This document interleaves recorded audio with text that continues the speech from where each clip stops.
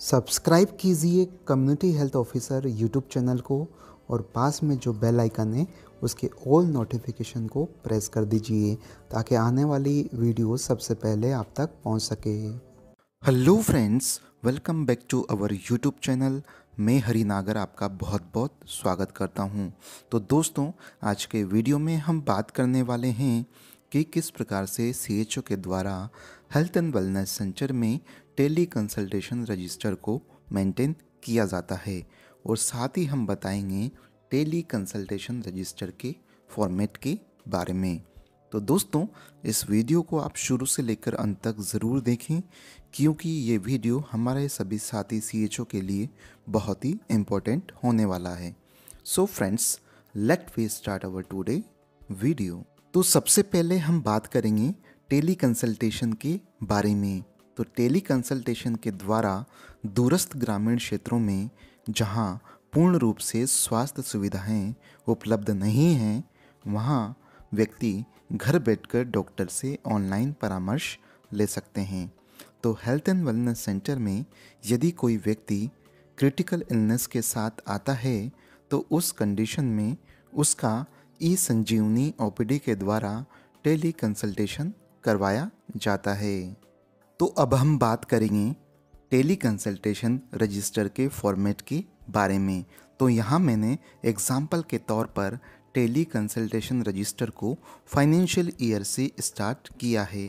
तो हमने यहाँ एक अप्रैल 2022 से 30 अप्रैल 2022 का एग्ज़ाम्पल लिया है। तो सबसे पहले कॉलम आता है सीरियल नंबर का तो आप सीरियल नंबर मेंशन कर दीजिए। देन उसके बाद में अगला कॉलम आता है पेशेंट नेम का तो पेशेंट नेम मेंशन कर दीजिए। देन उसके बाद में आता है एज एंड सेक्स का। तो यहाँ पर पेशेंट की एज कितनी है, वो मेंशन करिए। पेशेंट मेल है या फीमेल वो भी मेंशन कर दीजिए। देन उसके बाद में आता है patient ID and consult ID तो ये जो दोनों चीज़ें हैं, ये जब हम ई संजीवनी ओपीडी करते हैं तो लास्ट में एक प्रेस्क्रिप्शन स्लिप निकल कर आती है। तो वहाँ पर कंसल्ट आईडी भी लिखा होता है और पेशेंट आईडी भी लिखा होता है। तो वही आईडी यहाँ पर मेंशन कर दीजिए। देन उसके बाद में अगला कॉलम आता है मोबाइल नंबर का।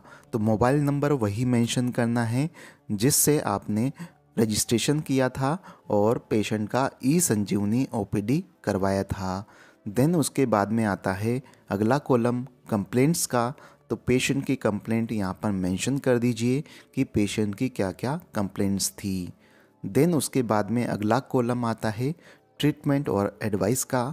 तो इस कॉलम में आप ट्रीटमेंट और एडवाइस को मेंशन कर दीजिए और वही ट्रीटमेंट आपको यहाँ पर मेंशन करना है जो कि आपने ई संजीवनी ओपीडी के द्वारा करवाया था और वो प्रेस्क्रिप्शन स्लिप में मेंशन था। देन उसके बाद में लास्ट कॉलम आता है डॉक्टर नेम का। तो जिस डॉक्टर ने आपका e Sanjeevani OPD teleconsultation करवाया है तो उस डॉक्टर का नाम वहाँ पर मेंशन कर दीजिए। तो इस प्रकार से जो पेशेंट की डिटेल है ई संजीवनी ओपीडी वाली वो आपको मंथ के लास्ट तक मेंटेन करनी है। तो हमने जैसे कि यहाँ पर एक अप्रैल 2022 से 30 अप्रैल 2022 तक का एग्ज़ाम्पल लिया था। तो मंथ के लास्ट में 30 अप्रैल 2022 को आपको क्या करना है?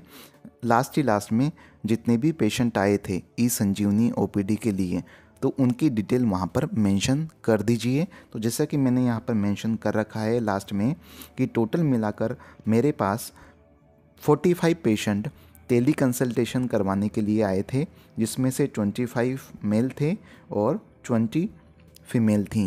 तो इस प्रकार से आपको लास्ट में पूरी डिटेल मेंशन करनी होती है। तो दोस्तों, आशा करता हूँ आपको ये हमारा वीडियो यूज़फुल लगा होगा नॉलेजेबल लगा होगा इंटरेस्टिंग लगा होगा। अगर लगा है तो प्लीज़ इस वीडियो को लाइक कीजिए, क्योंकि आपके एक लाइक से हमको मोटिवेशन मिलता है। साथ ही ये वीडियो आपके साथी सी को भी शेयर कर दीजिए। अगर आपको किसी भी प्रकार की क्यूरीज हैं तो कमेंट बॉक्स में जाइए कमेंट करिए।